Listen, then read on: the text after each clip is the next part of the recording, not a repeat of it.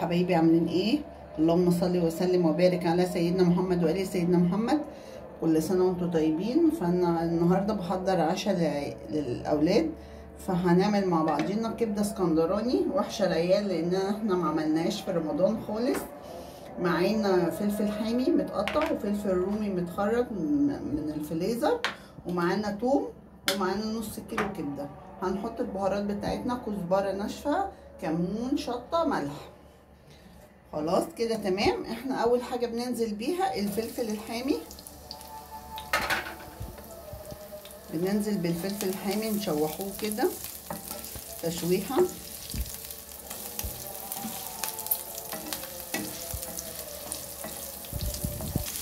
شوحنا حبايبي كده الفلفل. إحنا بنديله بس إيه يا دوبك يدبل معانا. إحنا نازلين بالكبدة بتاعتنا. عليه. اهي نسيبها تفك كده تغير لونها بس مع الفلفل هنا هنكون حطينا على الثوم بتاعنا البهارات بتاعتنا هنحط معلقه كزبره بتاعت الملوخيه الناشفه الكزبره الناعمه الناشفه وهنحط معلقتين من الكمون لأن الكبدة بتحب الكمون.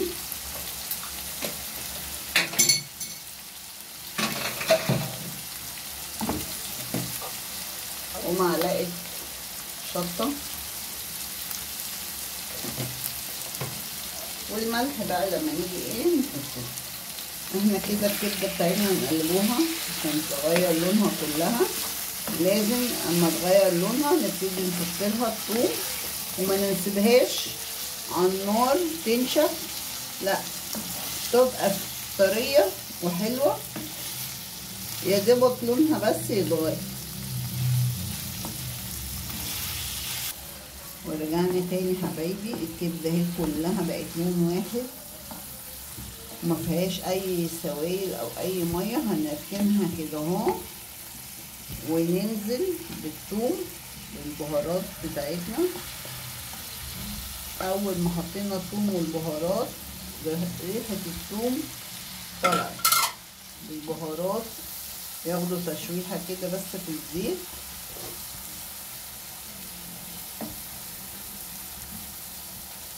أهو. وهننزل بالفلفل كمان الرومي المتقطع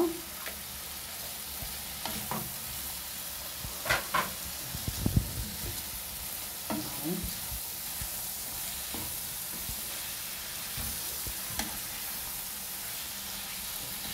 وسط الكبده بتاعتنا الاسكندراني دي لا بيتحط لا فيها لا بصل ولا بيتحط فيها طماطم ولا أي حاجة. هي كلها فلفل لو أقول لكم على الريحه مش متخيلينها إحنا بنقطعه كمان ليمونة. لما نطفي عليها من, من على النار بنحط لها الليمون بتاعها. نعصر عليها ليمونة. دلوقتي هنحط الملح بتاعها.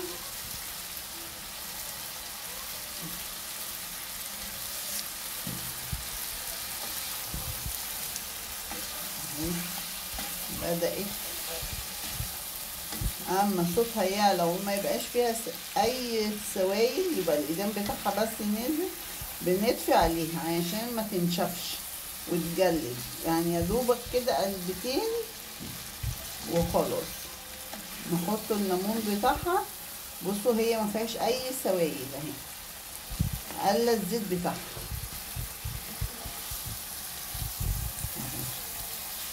الكبدة ما بتاخدش تلات دقايق على النار وتستوي. لأني لو طولناها على النار هتنشف. مش هيبقى لها أي طعم. إحنا كده بصوا كده هنطفي عليها ونعصر لها الليمونة. طفينا إحنا كده عليها؟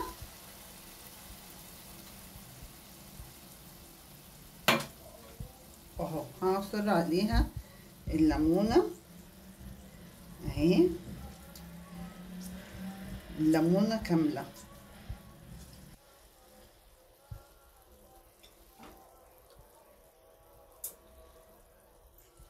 هتاكلوا أحلى حبه كبده فوق الروعه اللي الليمون ده اختياري اللي عايز ليمون يحط اللي مش عايز ليمون أهي. وتبقى رائعة. وكده الأنسجة بتاعت الكبدة أول ما لونها اتغير بتبقى دخلت معاكي في نص السوا. ما بتحطش بقى الفلفل والبهارات بتبقى جميلة. كده أكل... أكلتنا معاكم خلصت ما تنسوناش في اللايك والاشتراك عشان ينزل لكم كل جديد من بيت إيمي. السلام عليكم ورحمة الله وبركاته.